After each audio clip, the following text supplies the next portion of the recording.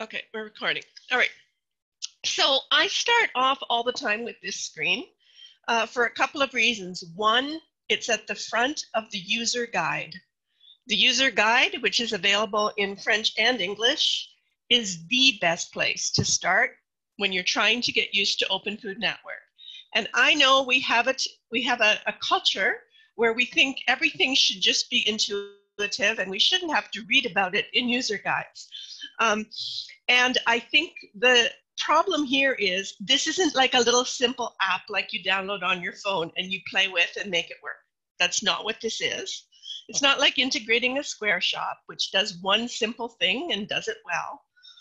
Open Food Network is a broad platform with a lot of features and a lot of tools working for lots of different food systems on the ground. What makes this different from Square or Shopify or any of the other platform providers that you might be familiar with, they all take the perspective of a business or an enterprise, a farm, a co op, a food hub, a buying club. We take that perspective, but we zoom out from that picture and imagine what would the entire local food system look like and how would all those different parts fit together so because of that, you can understand it's a little bit more complicated. And the way to start out is to figure out what is it that I want to do now? And none of these decisions preclude changing later. So there are multiple ways that you can use OFN. One is you could just be visible on a directory. Um, and this means people can find you and they can connect with you and they can build things with you. So sometimes for a food system where a community is saying, gee, we re really should build a system here, we should really be doing something. How do we get started? What a great way to start.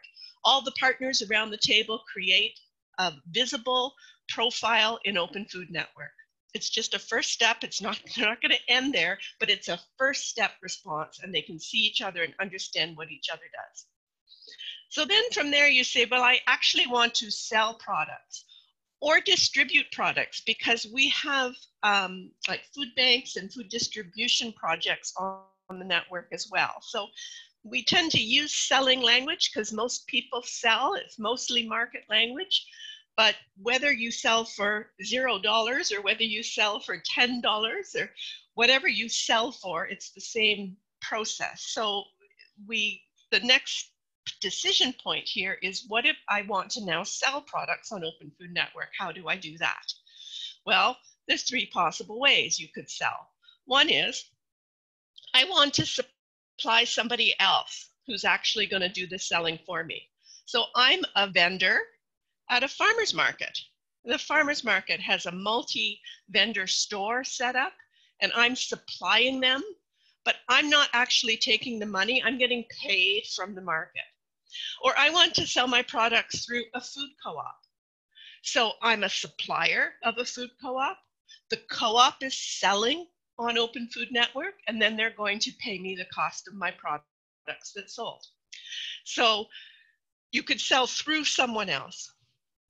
The second way is I want to sell directly myself. So I want to have my own shop, my own online store with my own products. I might be a farmer, I might be a baker, I might be a crafter, I could be really any kind of a maker. I have products and I want to sell them, and so I want to set up my own store. And the third way is I want to sell my products, but I also want to sell other people's products. And that might be you know, two of my neighbors also make things. Two of my neighbors grow things in their community gardens, and we want to sell this all together.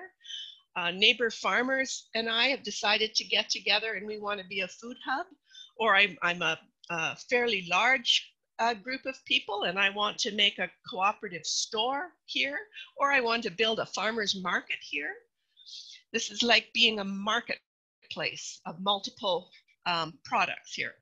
So there's these three ways that you could get on to Open Food Network and you can move between them um, whenever you like. So I'm gonna just show you now. Um, let me just get rid of that. When you're on the um, uh, first page, well, we, we're all joining from different countries, so let me just do this. I'm showing you the Canadian platform, which opens up like this, and it will be similar everywhere else because Open Food Network around the world uses the same code base on the back end. And it's an open source code base. So we have many developers, many contributors, always looking for more, always looking to make it better. And because it's open source, it's like a public infrastructure. It's non-proprietary. People don't own it. Uh, it's available to anyone who wants to use this code base. And those of us who are uh, set up on servers with this code base and the front end marketing images that you see around the world. We call ourselves instances or it's like being chapters and we work together uh, to offer this everywhere. So your picture, wherever you are of Open Food Network will look a little bit different, but the layout of everything I show you will be the same. Some of the words will be a little bit different. It will be available in different languages where you are. Here in Canada, we're in English and French. Um, I could click to the French, but I won't be able to do the de demo in French, so I will do the demo in English. And this funny thing happens when I go back to English after French, it, it, it gives me a Google translation at first, which is kind of funny because I'm an Anglophone reading a Google translation of, of French, and it, it, it always translates it quite funny. But now I'm back to where I started, so it's good. Okay, so um, we open up like this with what we call the Shop Now button. And if you click here, what you see is a search screen where you can search by location. This is for the consumer now. Or you can search by the type of food that you want. And actually I should say, or you can search by, by property, organic, gluten-free, all these different properties. Um, and what you see on this screen is a partial listing of the people who are currently have shops open on Open Food Network. Not all of them are, are selling things. Uh, I'm sorry, not all of them are uh, food. Some of them might be selling other things. Um, and the thing about this page is these are just shops that are open right at this moment and um, have decided they want to be visible to the public. Not all shops want that because lots of times a group will have its own private um, marketing to private members. Maybe it's wholesale, for example, or maybe it has, it's a, a, CSA farm that already has a member list. They don't need their members to find things here because their members already know the link to the shop and so forth. So this is the, the page of, of, of shops. Um, there's a map function. Uh, and the map function, of course, um, shows you all the shops. It, the map is by instance, so this is our Canadian map, and it's, as you can see, we're very clustered in Southern Ontario here, although uh, gradually expanding elsewhere, which is very exciting. There's also a list of producers. The list of producers is a list of all the producers and suppliers on the network who have decided they want to be visible and be found. Um, when they're highlighted in red, it means they have a shop front open. And so if we click there, it automatically goes over to their shop. Um,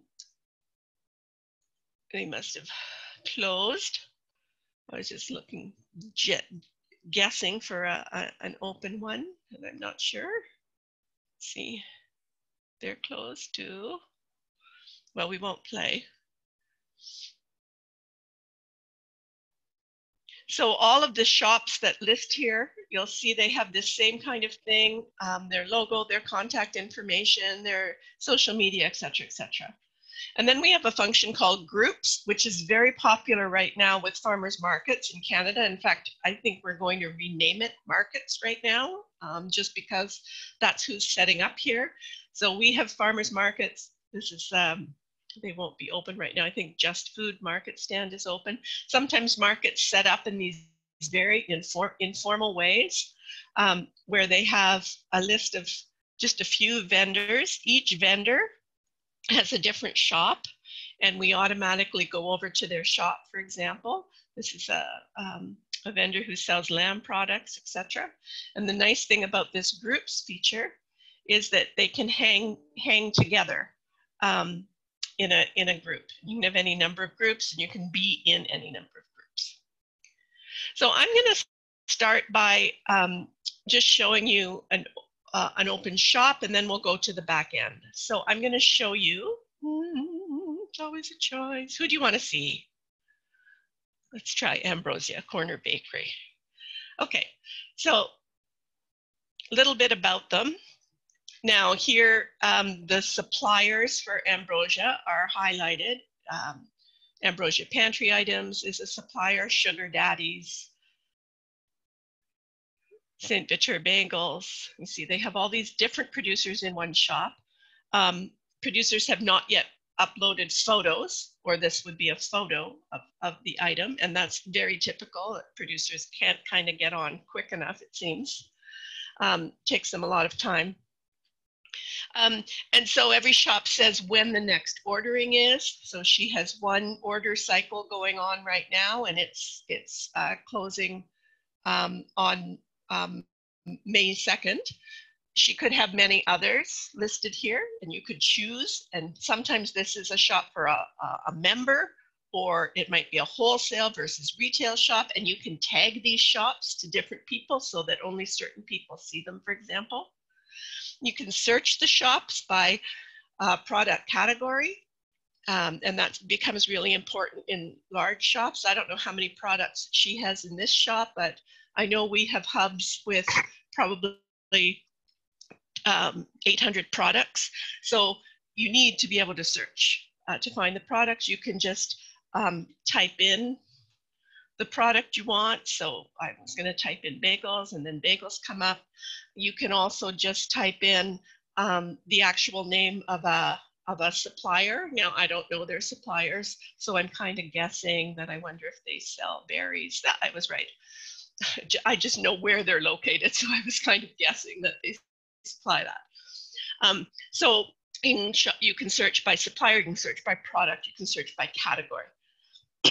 All of the shops are listing, it's a standard kind of e-commerce process from here on in. Um, you put the items in your cart, you edit your cart. At checkout, you're presented, well, maybe I'll just, no, I don't want to mess her up, but I won't complete the checkout. At checkout, um, you're presented with the options for pickup, like actually getting your product, and for paying for your product. So after you complete who you are and your uh, details, and there is an option to check out as a guest, you'll see here it automatically pulled out an identity for me because it knows my login. So I've ordered before online and so it remembers me. But if you were the first timer, it would give you the option to check out as a guest.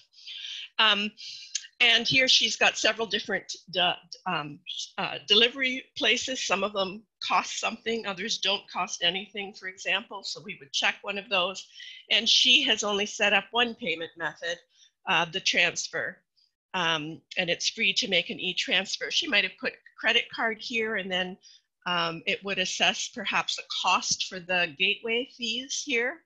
In, in Canada, gateway fees are steep, 2.9% uh, plus 30 cents a transaction, so it adds up. So lots of times shop owners will pass that fee on to the buyer if they're going to take credit cards, or it could even be cash, although these days, of course, we're not doing cash. So there we are. She puts together her um, the, the shopper checks out the cart. I won't do that because it will actually prompt an order for her. I'm gonna take a breath and see if there's questions about the consumer experience, and then we're gonna look at the back end.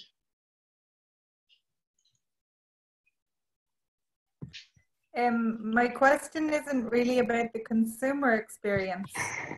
Um, with my, oh, sorry, I've got this silly cherry thing in the background. Um, it's wondering if it will be worthwhile to set people up as a directory as an initial step in Ireland before we get them involved with shops or hubs. Would that be a good first move? Um, yeah, you can do that. Um, it's not it doesn't have to be, um, you don't have to think about this linearly. You can start putting people on a, on a directory and then seeing if any of them want to actually move to a position where they set up shops and start selling. Um, we did that at one point for one community here in Canada. Um, we had a very large, uh, an organization that had a large map of the Waterloo Regional Food System, and it had a, a list of yeah. many, many vendors already. And we entered them all as profiles, and then we contacted them and say, hey, look at this. What do you think about this? Do you want us to leave mm-hmm. your profile up? So we actually get their permission. And um, most of them, of course, said yes, of course, that's wonderful. And then, you know, a little while later, we said, so now all your profiles are here. Are any of you interested in setting up a store and selling products? And, yeah. and so then some people were. Um, so yes, it's a way that you can proceed, absolutely. Okay, thank you. So when you first log in, you will see a dashboard that um, is a little different than this but it will have the same elements to it. Um, my dashboard, I'm just showing you what yours will look kind of like this. Uh, it will have your name, uh, and this is where you can see yourself on the map and make sure that all looks fine. It will be, give you the option to edit your profile details, which basically um, controls how you describe yourself. I'll show you this. And to edit enter products and to manage order cycle, which is code for store, manage your store.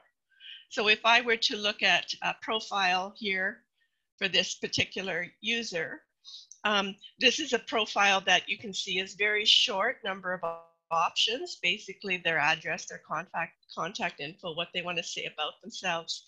Uh, do they want to upload a file for their image and so forth.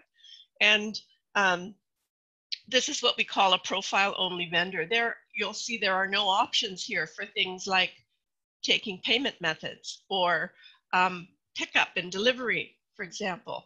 Um, because they're a profile vendor, they're not actually setting up as a store, so those options don't exist here. If we go to um, across the, the top, you can see the various options that uh, you can play with as a, on the back end as a vendor. For example, you can choose to enter products. And so I'm just going to show you.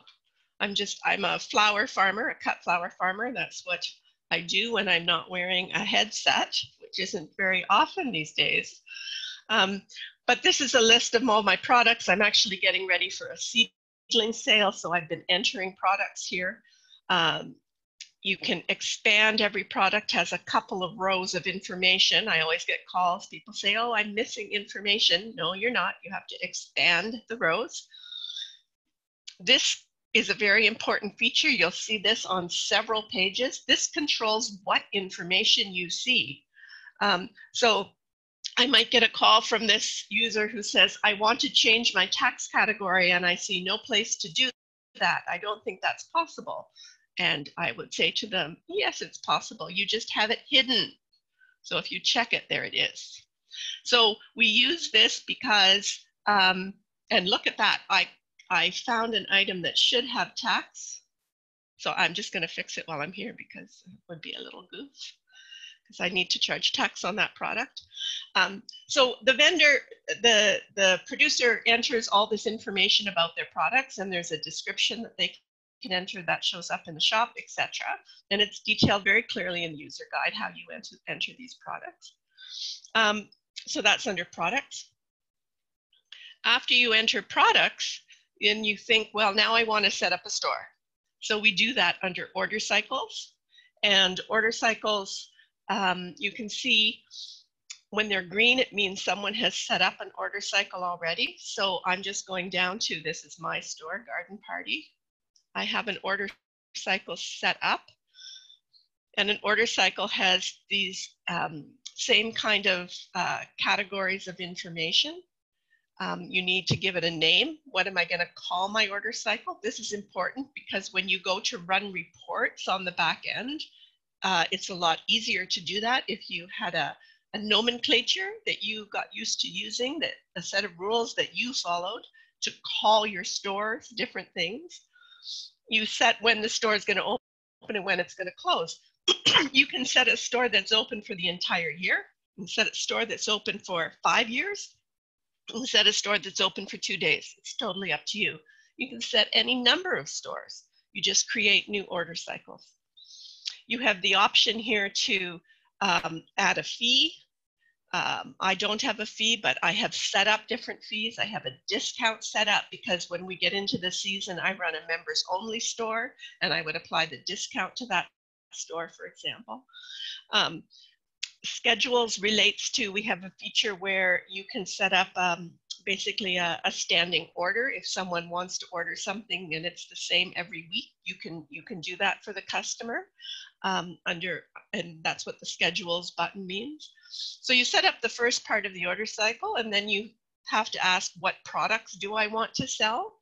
And so in this situation, I only have one supplier, that's myself. My own farm is supplying my own store. But if I had permission from other suppliers, like if I was a hub store, um, then I would see others in this drop down list and I could add their products into my store too. You can choose whichever products you want to add into the store one at a time, or it's often easier with a long list. I mean, this is close to 300 products I have. So I just do select all instead of going through one by one, for example. And then in outgoing products, we can also, you also select them. And the reason for this is people say, well, that seems redundant. Um, because what this is building, and you don't see it here, is that I might have a store where I have multiple distributors. So maybe I distribute my products through four different other stores. And in that scenario, I can list them as distributors. And that's why we have these two steps. And they might have different products because maybe I have a distributor that doesn't have refrigeration. And so then I don't put any of my refrigerated products into that distribution. Um, so distributors can have different range of products. We can get very fancy and tag. When we tag things, it means that only certain customers will see it. And so you can set up any kinds of tags in order cycles here. Um, and you can um, put, put details to the customer uh, for their delivery. So uh, this phrase here is what will show up to the customer, and I'm going to show you this in a minute. Uh, you'll see this Saturday, May 16th phrase and where that shows up, and a little detail to them because right now with COVID, everything is curbside pickup here, so I will confirm to the customer their 30 minute window where they have to come to pick up their product and I can add a fee if I want. So th this is how we set up a store. And I'll show you what this store looks like for my products in a second. We then also have the possibility to take orders. So once we have orders, and what I'm gonna do, I'm just typing in my farm name because there was some orders I was playing around and testing earlier today. So um, we can look at orders you can edit an order. This is an order that uh, a, a, customer made, and it might be that I want to, at this point, um, delete this item. I can delete it. I can add a new num a new item. I can select from items that were available in the store and add them. Um, there's all the possibilities of managing an order with different kinds of payment features if I need to make another order. Uh, this order is already paid, so I can't really um, action it in terms of making another payment because there's nothing owing. But these are all the tabs that you use to manage an order. And I'll just show you uh, one of the nicer features, I think, is if you're at an order and you go under actions, you can automatically send an invoice or you can print an invoice. Um, if you print an invoice there, it automatically opened as a PDF file, for example. Um, but you could also just automatically email it or you can send the confirmation and so forth. So all of these are ways to manage an order and there are lots of tools for bulk order management that are even better um, because sometimes you need to do the same thing to a whole bunch of orders. Maybe you have 200 orders in your farmer's market and a vendor just um, called and said, you know, the strawberries are not available yet, and so they have to be taken off of everybody's order. And so what you can do is just, oh, this is hanging up on me. Um, what you can do is just search for or the vendor of the strawberries or your particular shop name or your order cycle name, which is why that name was important. Um, and up will come all those orders under those filters and you can change them all at once just by clicking uh, which, which, which ones you want to change. Um, and you can also print bulk orders and there are features here um, for weighed items. So, uh, you know, when you go to a butcher or a deli counter or, or something like that, they weigh out the ham you buy or the cheese you buy. Um, and uh, then they have a little um, automatic pricing that goes on that package usually, and that's exactly what this is. So I have in the store maybe, you know, 200 grams of sliced ham that is listed, but when that's actually cut and weighed, it's very unlikely it's going to weigh out at exactly 200 grams. Instead, it's going to be 220 grams. So I just put in the weight, 220 grams, and it will automatically calculate the price, change the order, uh, change it on the invoice, um, change it in all the reports. So it handles variable weight, and you can do it in um, uh, pounds or, or metric. Um, and then there's a whole range of reports on the back end. And this is always very interesting because no matter how many reports we put here, never exactly the report somebody wants. There is an unbelievable diversity in the ways that users need to see their information. Um, and um, we just kind of decided that we, we you can't possibly have a canned report, a ready to go report that meets everybody's needs. So you'll notice that what, what we have are these data rich reports that if I want to choose a report, and I'm just gonna say garden party, um, I can download it as a CSV file.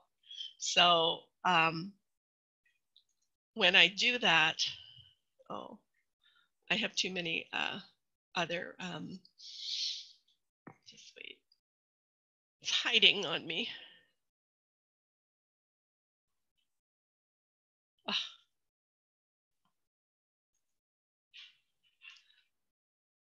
Hang on. I have other Excel files open on my desktop over here. That's why it's not really perceiving a bit of a conflict. Let me try again. It will download as a CSV file, which is basically an Excel file. And then from there, here we go. Um, you can play with the categories and turn this into pivot tables or delete information you don't need. And I won't go through all the reports. Um, and we're in the middle of doing lots of changes to reports to make them even more responsive to people. But there's all kinds of reports. You can pick pack lists, you know, things that are meant for packers don't necessarily have detailed pricing information. They don't necessarily have um, the consumer uh, contact information, but a consumer totals report would have all all that information. So it takes a, a little bit of time to make some fake orders and play out some reports and see which reports you really want to use. And then the last thing I'll show you is customers. So for any store, I don't know if I have any customers in my store because I've just been playing around with it. Oh, there we go. Um, as soon as someone buys in this store, they're uh, automatically put in my customer list. Um, and I can tag these people to see certain kinds of information if I want, for example. Um, and there's also a report in here where I can download these customers as a CSV file with all their emails, and then I can import that into, um, you know, an email program I might be using like Emma or MailChimp or many of these other products. So I'm going to start stop there. That's the basic overview. And, and I'll see if there's um, questions that people have for specific things you want me to show you.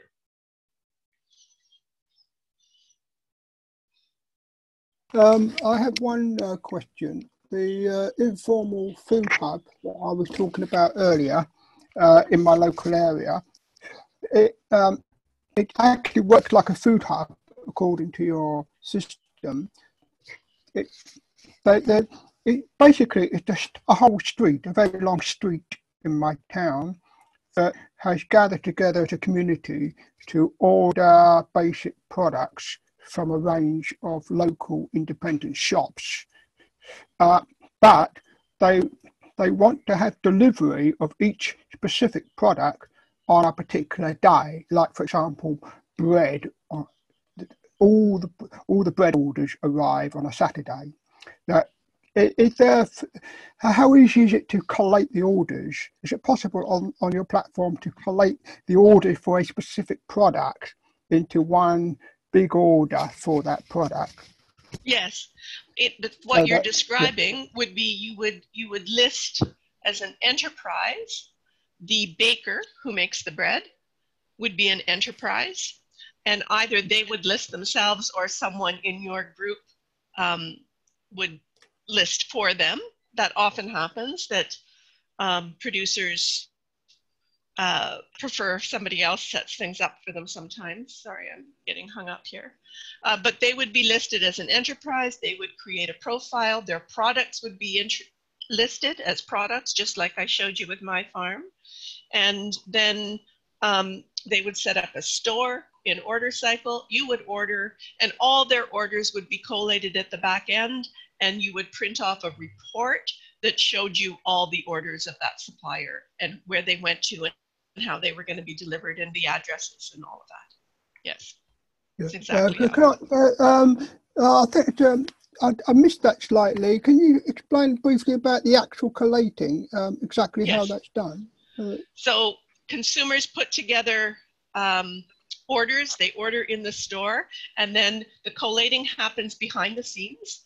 And so you just print off the report you want. So for example, um, trying to think of, uh, uh, maybe I could show you um, an order cycles consumer total. And I'm just gonna go to something that has, that I know has data that uh, will populate here. So I'm going to an older date range, but you know, you it doesn't really matter you just put in the name of your hub. This would be the name of your baker, for example, and you would um, download the report. And so here would be your report. This would be your baker's name and each customer's name, each contact information, um, and then whatever information you don't need, you, you can just kind of delete here. But how is it being shipped? Is it pickup or was it delivery? that would show here and you could sort by that column, for example, and then it would have the customer's um, billing address as well as their delivery address and their emails and their phones, for example. So then you would have all of that um, organized on the back end for you. All right, thank, thank you very much. That's great. Yeah, lovely. Yeah, that's great. Other questions? Teresa, this is Lori. Uh, just with just to follow up on Andrew's question, would it also be possible to create an order cycle that only included the bread products? Yes. Yes, uh, and, and in fact, that's easier if there are different products that are uh, particular timed to certain days, like the baking day is Wednesday or whatever, then that would be a nice way to do it. You set up a store for baked goods where people order on Wednesday. You set up another store for the other goods, which are available on Friday. And so when the consumer goes in, and uh, I'll just, I'm not sure if I know of a enterprise that has multiple stores open right now, but you'll see a drop down uh, beside any multiple stores. I'm just going to show you. Um, I'm just getting my own enterprise here because I'll show you that store, but my enterprise is not visible on the network right now because I'm still getting ready when a when a producer is getting their store ready, often they make it invisible, right, so that people don't see something before you're ready to unveil it. Hmm. Here we go. So what I'm doing, I'm just going into the profile for my store, my enterprise. Now, you might remember when I showed you this screen before, it didn't have shipping methods, payment methods, enterprise fees. That's because I'm now set up to sell as a store. And so I have to, I have set up all my, what payment methods will I take? Um, will I take an add-on or a percentage fee? How will I do delivery, etc. But what I wanted to show you is you see I've checked not visible. So um, that means that in that front screen, the shop now screen, I do not show up in that screen. I will when I'm ready, I'll put visible. But meanwhile, you just pick up the URL and you can put that URL in any any place you want now, right? In social media, I put it on my Instagram feed, for example, because flowers are all sold by Instagram. Um, and uh, here's what the store will look like. Even though it's invisible, I just gave us access to it by going right to the link. And what I wanted to point out to you is this. When I was setting up the order cycle, you might remember this phrase appeared Saturday, May 16th. That's the name of my offering, if you will. Um, and this drop down, you could have any number. So I could have be taking orders simultaneously for you know, Saturday, May 16th, bread. Um, you know, Monday, May 17th, uh, dairy products.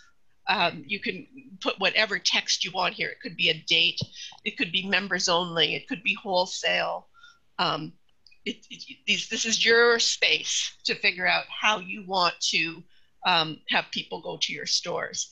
And if you tag people, you can make some of the stores visible to some people and not to other people which we often do with members only kind of stores.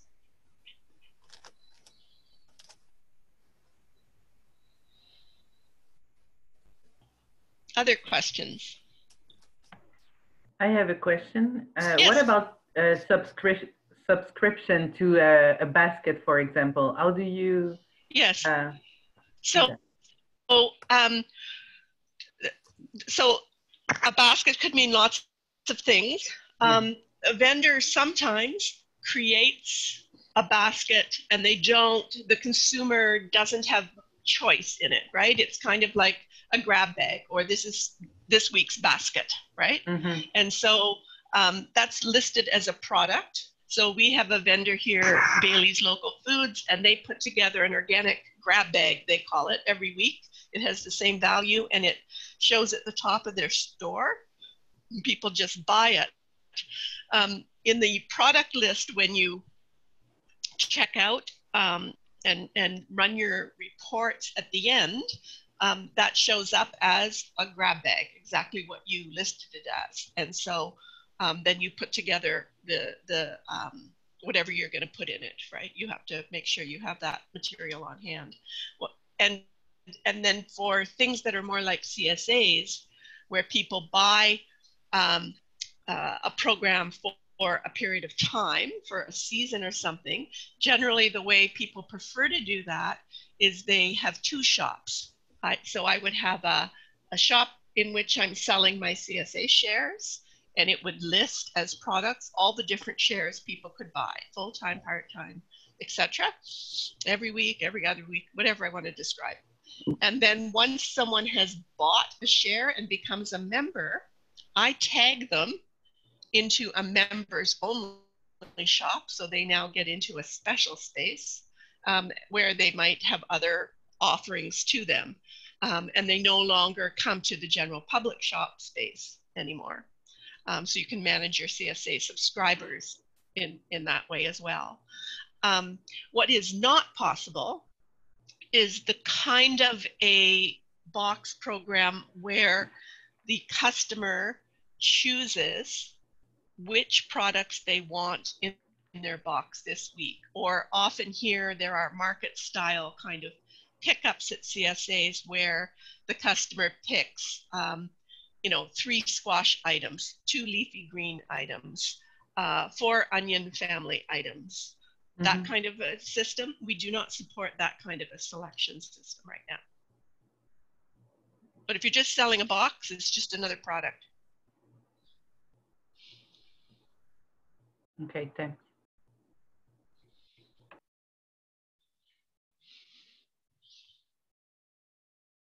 Other questions? Teresa, could I just ask about um, the management of product availability when you're operating a hub? Do the producers have the autonomy to manage that, or does that fall on the hub manager? And then, secondly, just about the whole money trail, um, when yes. customers make payment, so, where does the money go? Yes. So, in a store, the money goes to the coordinator or the store owner. All the money goes to the store owner. Um, the store owner then needs to pull a report that will let them figure out how much money to send to all their vendors and how they're going to pay their vendors. Are they going to run accounts? Are they going to wait for invoices? Are they just going to pay them every week, etc. So all of the, those dynamics are just like a regular face-to-face store in that sense. You have relationship with the vendors around payment. Um, in terms of how you actually get products into a store, there is a, a thing here under enterprises. So all of the enterprises who you might want to buy from, you search for them on that first screen on the um, map to see if they're already have product lists on the network because if they do then nobody has to enter them again you see and so then um, if, if you found them you go to enterprises and permissions and you contact them to ask if you can sell their product so we don't just take products but we get permission to sell products um, and then once you have permission, so for example, this, this bakery, Ambrosia, contacted me this morning because she received permission from this supplier, Barry's Asparagus, to sell in her store and she wasn't sure what to do.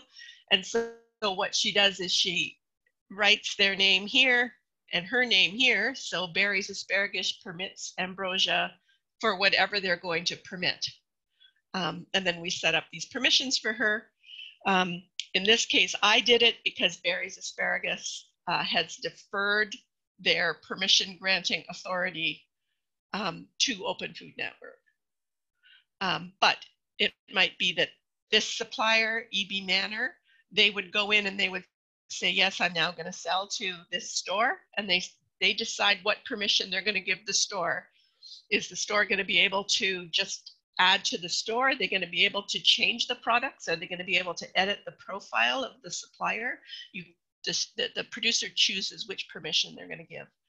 Once there are permissions, and we work in a system that has producer sovereignty. So the producers own their products and the producers give permission over their products and only the producers can do that.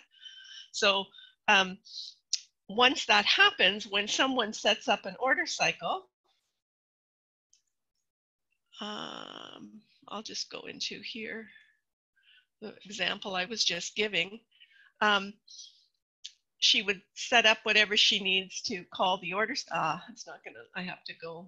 Hmm, I don't want to mess with her order cycle. Let me just see if I can find one that is a multi-vendor store in here. I'm sure I can. Let me just do this. So I would go into the order cycle. This order cycle has general settings already. We can set uh, dates or whatever. Here, um, we're calling it Friday's market and it has certain dates set. And then when we go over to incoming, we'll see that it's going to take a minute to load because she has all these vendors set up who have given her permission to carry their products. And with each of them, she can decide which products she's carrying, for example. So this is quite, I think there's 85 vendors here, so there's a lot. Um, and if there's new vendors, oh, here's a new vendor, we can add them. And then you can select which of their products we want, we want to include, for example.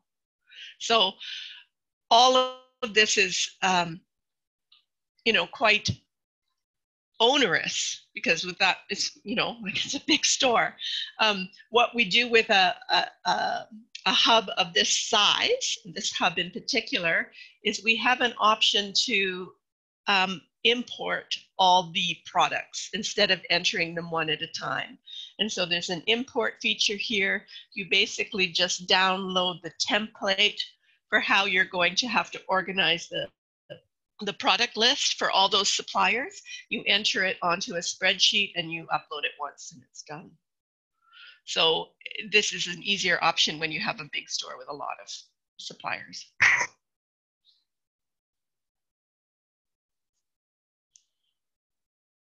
I know it's a lot. It's a ambitious platform. There's a lot of features here.